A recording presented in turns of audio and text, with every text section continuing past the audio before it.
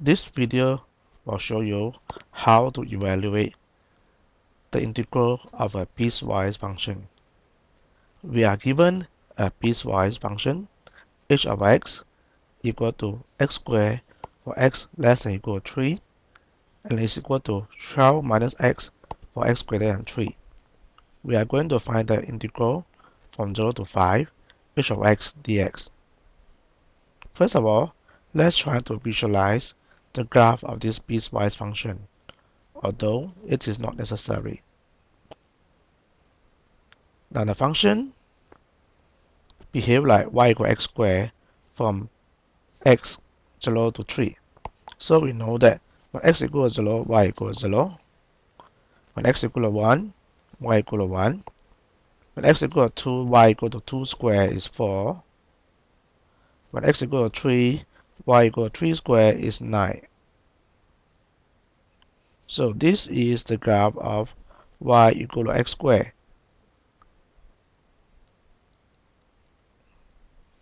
Now, for the portion of the graph, for x more than 3, the function behave like 12 minus x. So for example, for x equal to 3, 12 minus 3 will be 9. So for x equal to 3, 12 minus 3 will be 9 again. So your match connect with the 9 earlier. And for x equal to 5, 12 minus 5 will be 7.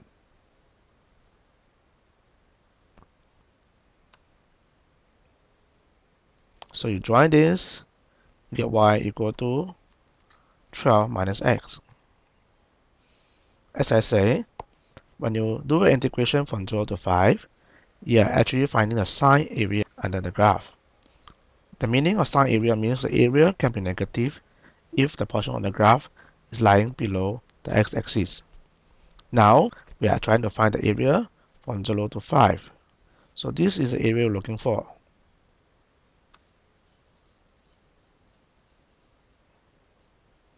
You can see that this area is broken up into two pieces. The pieces from 0 to 3 and from 3 to 5. Then you add them up.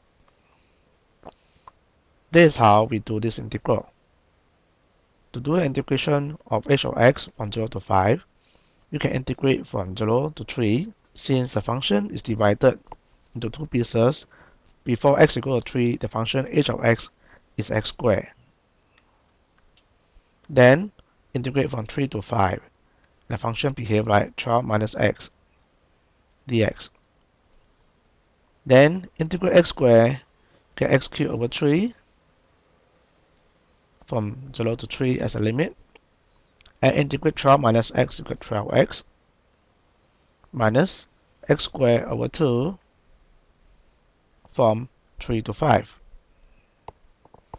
Putting down the limit, you get x equal 3 now, get 27 over 3 minus 0 over 3. When you put 3 and 0 into limit of the first term. And second term will be 12 times 5 is 60 minus 5 squared 25 over 2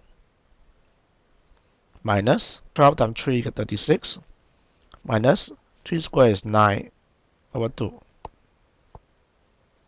So this will give me 27 over 3 is 9 plus 60 minus 36 is 24 minus 25 over 2 plus 9 over 2, you get minus 16 over 2, which is 25.